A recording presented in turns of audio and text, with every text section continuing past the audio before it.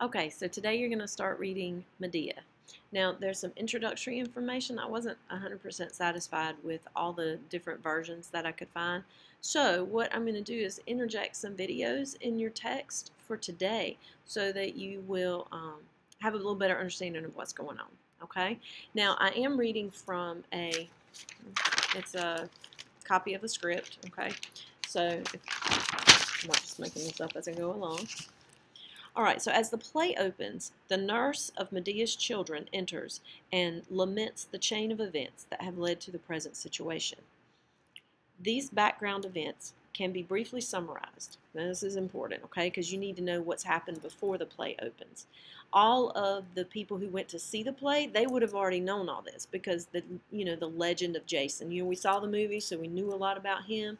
Now, um, you get a little background that the audience would have already had. Okay? Pelias, the wicked king of Iolcus, has usurped the throne from his brother in an attempt to prevent his nephew Jason from assuming his rightful place as king of Iolcus, commands Jason to go to Colchis, the kingdom of King Aetes, to obtain the golden fleece, which is greatly valued and closely guarded. That all happened in the movie, okay? Jason constructed a ship, the Argo, and sailed to Colchis. King Aetes' daughter, Medea, who is also a sorceress, falls in love with Jason and helps him get the golden fleece by murdering his brother and duping her father. Duping means um, fooling, all right?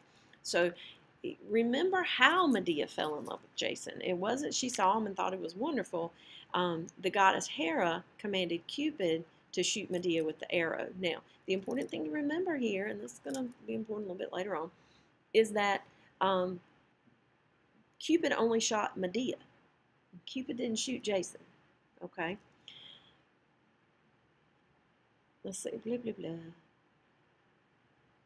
All right. And now the movie had things a little differently. Um, according to legend, Medea um, tricks her brother and she takes him on the boat with them when Jason and the Argonauts, they're all on the Argo and they're trying to escape. Um, and they've got the golden fleece.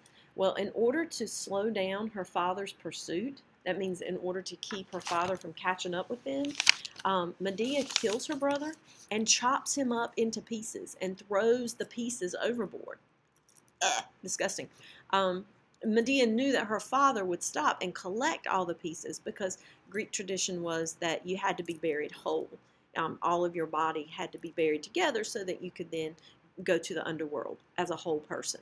So she's she's a little crazy. Okay. They, this is Jason, Medea, and everybody else on the Argo. They flee to Iolcus, where Jason claims the throne from Pelias. So Jason wins back his throne. Pelias resists, and Medea, through deception, causes Pelias's own daughters to murder him. Because of this terrible deed, Medea and Jason flee to Corinth, where they live for some years. Now let's but hold on just a second, because again, ooh, gross. All right. Um, Medea tricked Pelias's daughters into killing him. Now, if you recall in the movie, we didn't see any of Pelias's daughters. Okay, so this was just one difference between the movie and then the legend. Um, the daughters, his daughters wanted him to live forever. They loved their father. So what uh, Medea performed like a little magic ritual where she took a goat, she slit its belly, she drained its blood, and um, then she chopped the goat up into pieces and she boiled the pieces in the goat blood or something like that. And out jumps this young goat. Okay, so the girls thought, and this obviously they're not real bright, they thought if they did that, their father would be young forever.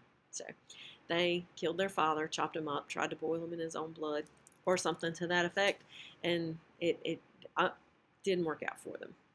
So they blame Medea. Medea and Jason have to leave Iolcus. Now remember, Jason had just reclaimed the throne. He was the king.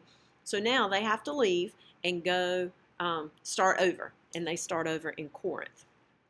And this is where our play starts. Okay?